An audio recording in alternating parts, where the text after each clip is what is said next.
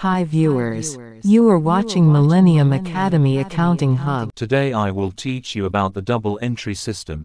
This video includes what is a double entry system, about debit and credit, how to record transactions. Imagine a business transaction like a seesaw.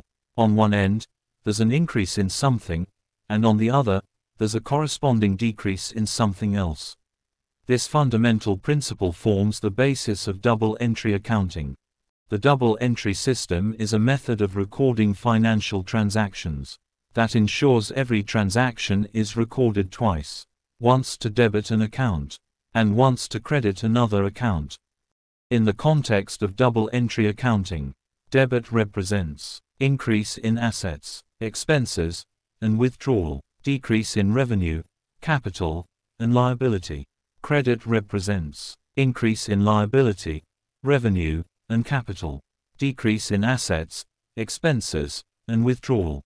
It's important to remember that every transaction has two parts, and the total debits must always equal the total credits.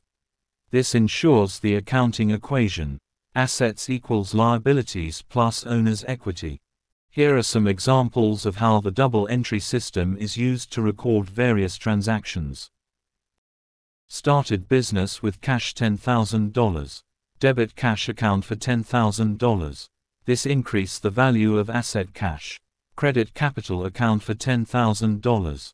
This increased the amount of owner's equity.